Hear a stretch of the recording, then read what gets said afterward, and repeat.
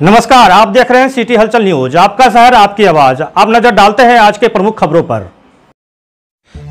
आज एक सनसनीखेज खुलासा जिला कृषि पदाधिकारी के बारे में करने जा रहे हैं। जिला में एक ऑडियो वायरल हो रहा है, जिसमें अंकित फर्टिलाइज़र के मालिक सुबोध केडिया, बीज विक्रेता संघ के भरत भगत से बात कर रहे हैं। आपको बता दें कि ये वही अंकित फर्टिलाइज़र है, जिसको अवैध रूप से बीज बेचते कृषि पदाधिकारी शंकर झा ने रंगे हाथ पकड़ा था। और तीन दिन के अंदर कार्रवाई की बात भी हुई थी। मगर कार्रवाई तो दूर तीन दिन के बाद इनकी दुकान भी खुल गई। अब आप सुनिए यही अंकित फर्टिलाइज़र बीज इंस्पेक्टर से बात करने के बाद क्या कह रहे हैं। हम दो बार लगाए उनका फ़ोन इंगे जा रहा था तो फिर उन्हीं का फ़ोन आया। हाँ, फ़ोन आया तो बत्तीस मिनट तक बात हुआ। हम्म। हाँ, एक दो मिनट नहीं। हम्म।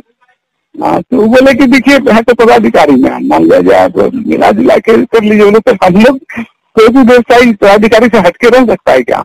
हाँ, इतना इसके पहले सुरेंद्र बाबू थे कभी सुने क्या तीन साल में कुछ हुआ था गुलाबाग में? हम्म।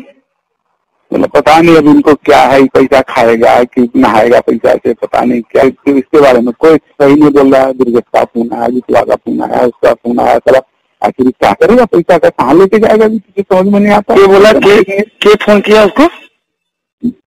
जितू? नहीं। अब निखिल बाबू को सब फ़ोन किया कि सर ऐसे ऐसे परेशानी हो रहा है ऐसे ऐसे परेशान कर रहा है। तो वही बोले तू चिट्ठी दीजिए बोलने में कोई दिक्कत नहीं है। हम्म। तो मिला जुला के चलिए पदाधिकारी है कल को मान लिया काम करना है एक सौ परेशानी है काम में। हम्म, लेकिन हमारे हमको जहाँ तक जानकारी है कि सीट जो है वो दूसरे जिला में बेचने में कोई परेशानी नहीं है। हम्म, नया कोई लॉ आया हो तो ये हमको जानकारी नहीं है। लेकिन सवाल है कि पदाधिकारी को कितना लॉ बताएँगे? हम्म, अपना मिला जुला के करिए? मतलब सर हम लोग तो मिला जुला के करते हैं बिज़नेस में व्यवसाय आदमी। पदाधिकारी से कभी भी लड़के चल सकता है क्या? हम्म, लेकिन बात को सौहार्दपूर्ण वातावरण में होना चाहिए ना। तो सुन लिया आपने किस तरह अंकित फर्टिलाइज़र का मालिक कृषि पदाधिकारी के बारे में कह रहे हैं कि ये पैसा खाएँगे कि या नहाएँगे? सिटी इंस्पेक्टर से बात करने के बाद मिलजुल कर काम करने की बात कहना साफ़ भ्रष्टाचार की ओर इशारा करता है। अब यहाँ आपको बता दें कि नोटिस करने के बाद भी अंकित फर्टिलाइज़र पर किसी पदाधिकारी ने किसी प्रकार की कार्रवाई नहीं की है, जो भ्रष्टाचार का घोतक है। यह हम नहीं, बल्कि एक माह पूर्व ही बीज विक्रेता संघ के अध्यक्ष निरंजन कुशवाहा ने कहा था कि जिला कृषि पदाधिकारी नोटिस के आड़ में पैसा लेने का काम करते हैं। जरा सुनिए उनके उस पुराने बयान को। आपने ये नोटिस किया और उक्त उक्त विक्रेता जब आपसे संपर्क किया, तब आपने अपने उस दलाल के द्वारा उसको रेट बताया कि एक लाख रुपया लगेगा, तुमको बड़ी कर देंगे। विक्रेता डर गया कि एक तो तीन चार परसेंट नुकसान में बेचे और ऊपर से एक लाख रुपया मांग रहा है। तो वो किसी न किसी तरह आपसे मिला और आपका जवाब यही हुआ कि जो बोला गया है, वही दोगे तो तुम्हारा काम होगा, भागो यहाँ से। नहीं तो तुमको हम छोड़ेंगे नहीं। आप कोई कार्रवाई नहीं करते। आपको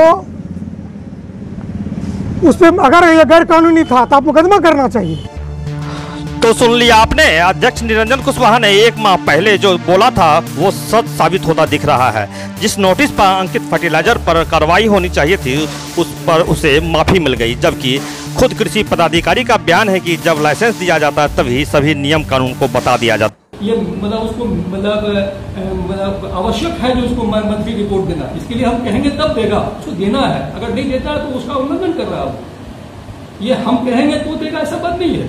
जिस दिन उसको लाइसेंस दिए लाइसेंस के हिसाब से ही उसको हर एक महीना रिपोर्ट देना है। अब भला कृषि पदाधिकारी को कौन समझाए कि सरकारी काम में माफ़ी नहीं होता है? अब यह फैसला जनता ही कही करेगी कि माफ़ी के आड़ में क्या खेल हुआ होगा। पूर्णिया से सिटी हलचल के लिए राजेश कुमार की रिपोर्ट।